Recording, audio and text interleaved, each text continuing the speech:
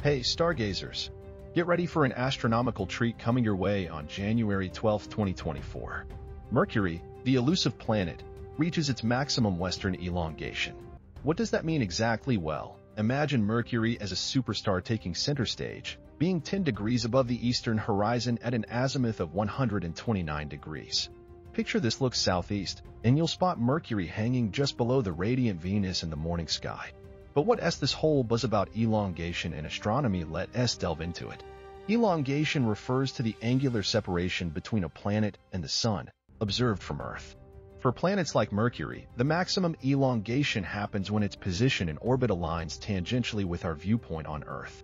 This moment is when the planet seems farthest from the Sun as seen from our vantage point. Now, here is the kicker. An inferior planet like Mercury, located within Earth's orbit around the Sun, makes it easier to observe its elongation compared to distant cosmic objects. When it's visible after sunset, that S near its greatest eastern elongation, and catching it before sunrise that S near its maximum western elongation. But hold on, these elongation angles aren't fixed. For Mercury, the maximum elongation angle ranges between 18 degrees and 28 degrees, while for Venus, it's a broader span between 45 degrees and 47 degrees. Why the difference? Well, blame it on the elliptical orbits of these planets. Their paths around the Sun aren't perfect circles, contributing to these varying values.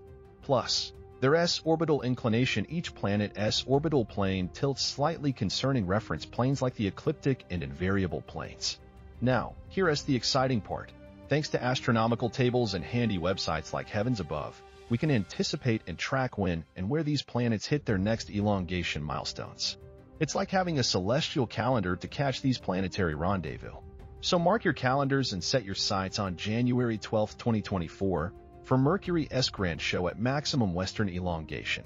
And remember, understanding these celestial dances not only adds wonder to our nights but also unveils the intricate cosmic choreography happening right above us. Keep those eyes on the skies, cosmic explorers. This is Zendor signing off, but stay tuned for our upcoming celestial revelations. Until next time, keep looking up.